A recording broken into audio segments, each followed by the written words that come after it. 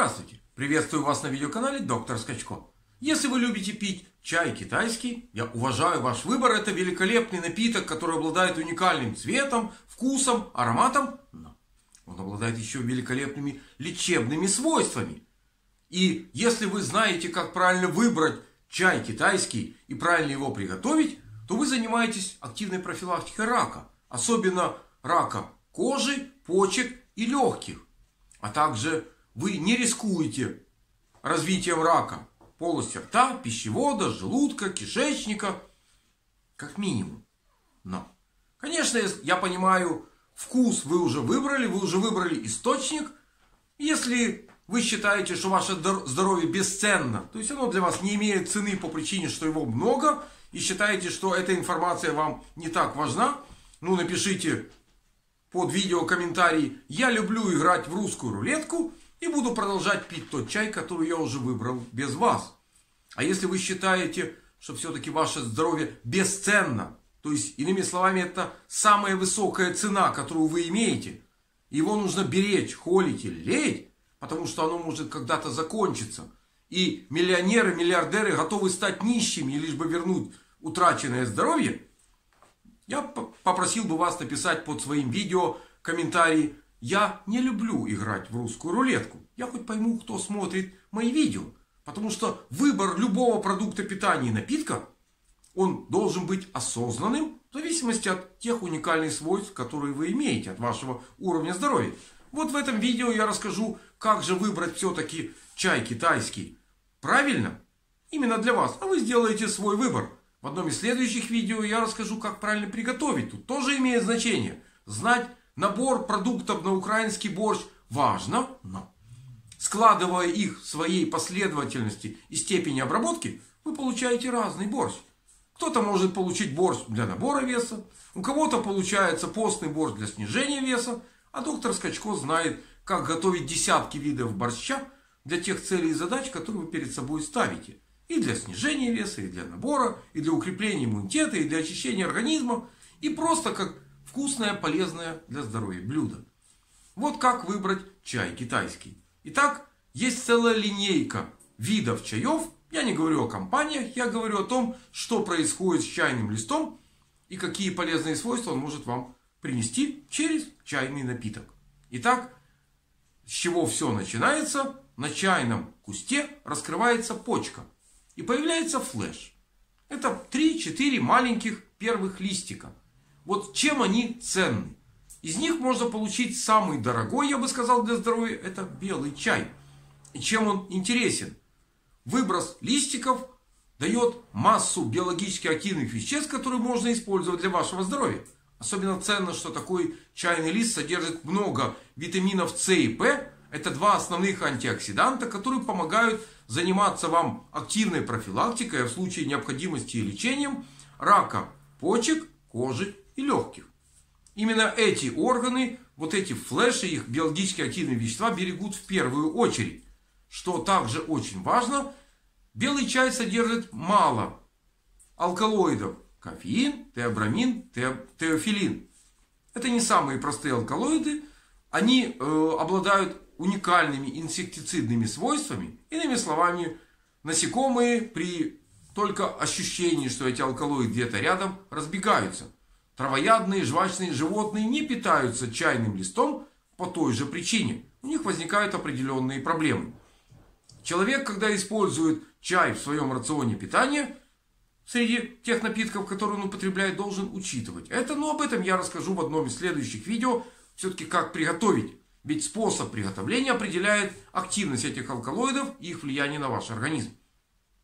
А вот белый чай содержит их минимальное количество, и это здорово максимальное количество антиоксидантов, которые укрепляют ваш иммунитет и помогают вам пить не просто вкусный напиток, но и полезный для здоровья. Правда, вкусный я сказал с некоторой натяжкой, потому что и белый чай, и дальнейшее развитие чайного листа, когда лист разворачивается уже в достаточно большую поверхность, и из этого, высушив такой лист, получается зеленый чай, в этом случае эти чаи не очень вкусны.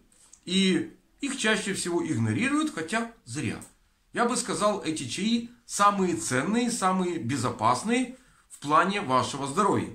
Ценные в плане профилактики онкологических заболеваний и безопасные в плане их провоцирования. Но выбор делает каждый для себя. Для того, чтобы расширить линейку, чайный лист не просто высушивают, его обрабатывают. И в зависимости от степени обработки вначале появляется желтый, а затем красный чай. Это все тот же чай китайский, просто подвергнутый частичной ферментации. Что получается в этом случае? Часть биологически активных веществ окисляется, в том числе и витамин С, его количество снижается, а появляются ароматические вещества. И за небольшое снижение лечебных свойств и увеличение ароматических свойств эти чаи назвали императорскими. Они уже обладают приличными вкусовыми качествами, но, конечно, лечебные свойства снижены и по понятной причине. Дальнейшая ферментация приводит к тому, что появляется черный и синий чай. Эти чаи обладают максимальным вкусом, но активность биологически активных веществ при этом, естественно, снижается, потому что ферментация это научный термин, а по-простому можно назвать очень просто. Это гниение. Видите лист зеленый на любом кусте, на любом дереве. Осенью лист желтеет, краснеет. А когда вы его достаете весной из-под снега, он весь черный. Аналогичный процесс, только управляемый, происходит с листом чая китайского. И что вы имеете на выходе? Если белый и зеленый чай содержат 300 мг процентов витамина С, то черный чай 30. Иными словами, в 10 раз снижается антиоксидантная активность и протективная роль витаминов С и П по отношению к онкоклеткам. И в этом случае, получая определенный вкус, вы жертвуете вот этим действием на иммунную систему. Но биофлавоноиды также уменьшаются в количестве, потому что происходит процесс конденсации биофлавоноидов в более крупные молекулы. Появляются катехины, появляются другие дубильные вещества. Иными словами, антиоксидантная активность и биофлавоноидов также будет снижена. Каждый биофлавоноид напоминает вот мою руку, содержит несколько активных групп. И каждая из них может нейтрализовать одно из токсических веществ. И выполнить антиоксидантную функцию. Для того, чтобы укрупнение произошло молекул, они связываются. И количество активных групп уменьшается. Зато молекула становится достаточно большой. И вот увеличение количества дубильных веществ в напитке, от которых нужно правильной технологией приготовления вовремя и полноценно избавиться, провоцирует при контактном действии на слизистую атрофические процессы. Если вы неправильно пьете черный чай или синий чай, у вас атрофические процессы начинаются в полости рта. Далее подвергается воздействию горла, пищевод, желудок и на финише толстый кишечник. И вот если вы не знаете, как правильно готовить черный чай, у вас риск развития рака обозначенной локализации увеличивается. Если вы, конечно, не знаете и другие факторы риска, которые также нужно уметь учитывать. Я давно нахожусь в этой теме, более 30 лет общего стажа врача-фитотерапевта, диетолога, 7 поколений, включая меня, разрабатывали фитотерапию, и я знаю, как управлять травками правильно, что нужно делать для того, чтобы ваша иммунная система работала хорошо. Некоторую информацию опубликовал в более чем 50 книгах и брошюрах, в том числе и по онкологии. Одна из первых брошюр была «Победите рак». Далее была книжка «Рак. Профилактика, лечение, реабилитация». Ну и одна из таких интересных книг «Рак. Профилактика, ранняя диагностика» вот ранняя диагностика очень важна. И правильное использование не только чая, но и других компонентов, входящих в ваш здоровый образ жизни или ваш уникальный образ жизни. Либо предупреждает развитие рака различной локализации, либо увеличивает рейтинг и значимость определенных факторов для вас. Например, если вы любите пить черный чай, неправильно приготовленный, неправильно не с точки зрения цвет, вкус и аромат, а с точки зрения влияния на ваше здоровье. И у вас в рационе мало термических обработан, термически обработанных овощей и фруктов, вы злоупотребляете сырыми продуктами питания. А также, возможно, вы не знаете, как правильно употреблять красные виды мяса. Как правильно готовить свинину, говядину, баранину, телятину, конину. И с какими продуктами их правильно сочетать, то у вас повышается риск рака толстого кишечника. Ну и другие особенности могут быть. Я опубликовал это все в этой брошюре. И оценив особенности вашего образа жизни, вы легко можете проверить, насколько те факторы риска, которые перечислены в этой книге, важны именно для вас. И в каком органе, в какой системе наиболее вероятно развитие онкопроцесса. Ранняя диагностика может позволить выявить рак на ранних стадиях и своевременно провести лечение. А будет это оперативное лечение, химиотерапия, облучение, либо вам достаточно будет вовремя укрепить иммунную систему, правильно готовя чай и другие компоненты вашего образа жизни, нужно подкорректировать, чтобы не дать онкологическому процессу развиться в критическую массу. Более подробную информацию я опубликовал в одной из последних опубликованных книг.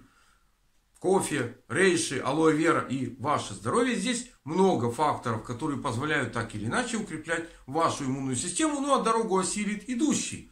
Если вы понимаете, что выбор чая для вашего здоровья, для вашего иммунитета очень важен, я попросил бы вас написать комментарий «Я не люблю» или «Я не буду играть в русскую рулетку». Вы теперь понимаете, что ваше здоровье в ваших собственных руках и выбрать чай легко и укреплять свою иммунную систему также легко. Вот на этой позитивной ноте это видео буду заканчивать с привычным подписчиком моих каналов словами «Крепкого вам здоровья!» и разумного к нему отношения. А пока вы думаете, кому отправить ссылку на это видео, можете поставить на это видео еще и лайк. Если вы забыли написать комментарий, напишите комментарий, как вы относитесь к этой информации. Я хоть буду знать, кто смотрит мои видео и насколько они важны и интересны для зрителей моего канала. Кстати, если вы еще не подписчик моего канала, это легко сделать в один клик. Подпишитесь на мой канал и более 800 видео, относящихся к теме активного долголетия и здоровья на моем канале будут вам доступны. Вы легко сможете воспринять эту информацию. Ну а я подумаю, как написать лучше следующее видео и разместить на своем видеоканале. До новых встреч на моих видеоканалах Доктор Скачко и Школа Доктора Скачко это YouTube, а также Школа Доктора Скачко в Instagram.